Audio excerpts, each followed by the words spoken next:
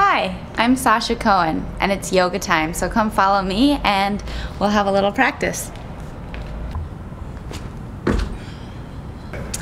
I've been doing yoga for about uh, three years, and I started right after the Olympics um, in 2006. My mom had been taking classes and she got me started and we explored some different classes together and I found a couple that I really liked and it's it's been something that's so wonderful because I can take it on the road with me, do it in the hotel room, on the airplane, on the tour bus, um, and and take that time for myself, for my body, um, to feel good and stretched out, and um, just a little bit of me time.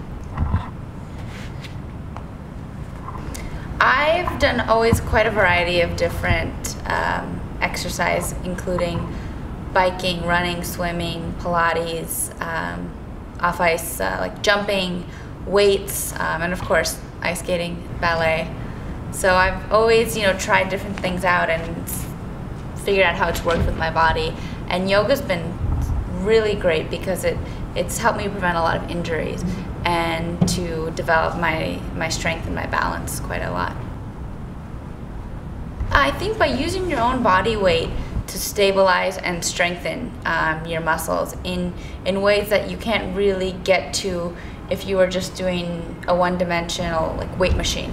So with yoga, you you know you use your body in the push-up, and it's a constant motion of flowing to a different position, and you you work your legs and your arms and your and your back. Just I strengthened my back and increased my flexibility in my back so much, and I was already very flexible. So um, there's just yoga creates this endless possibility for you to explore your body and strengthen and stretch. I do yoga probably four or five days a week, and I don't always get to class because I'm traveling quite a lot on the road half the year. But I make time in my hotel room or at the arena or at the ice rink um, every day just to at least do some poses and, and get in tune with my body, see how I feel that morning that evening and um, you know test my balance and, and flexibility and just and keep my body up.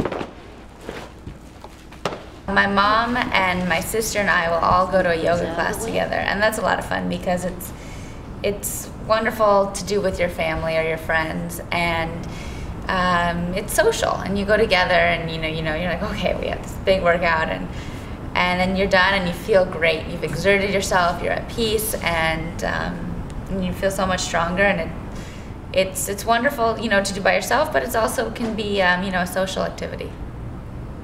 Thanks so much for joining me today in my yoga practice. I hope you learned a few things or maybe are inspired to go and try a yoga class of your own. Have fun, don't overdo it, and if you do, there's always a bag of ice waiting for you somewhere, and try again another day. Thank you so much. Nice to see you guys.